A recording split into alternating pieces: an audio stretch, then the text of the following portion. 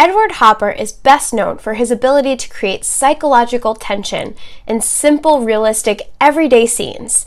In this painting, he alienates the viewer from this three story Victorian house, placing it cut off by the railroad tracks and drawing the blinds shut, closing off all opportunity for contact between the viewer and those who reside within. However, does this house look familiar to you? It may be recognizable. Hopper was pleased to find out this painting inspired Alfred Hitchcock's house in the infamous movie Psycho.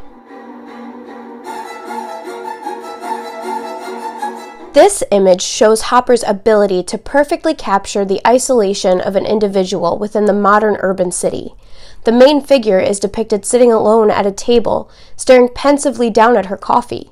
Hopper adds psychological nuance by focusing on a woman in loneliness despite being in a place consistently flooded with people. This piece is reminiscent of his quote If you could say it in words, there would be no reason to paint. His most famous painting, Nighthawks, is considered the embodiment of existential art for its capture of mood. This work, with its simplicity of setting and dramatic lighting, excellently illustrates Hopper's interest in the themes of alienation, melancholy, and ambiguous relationships.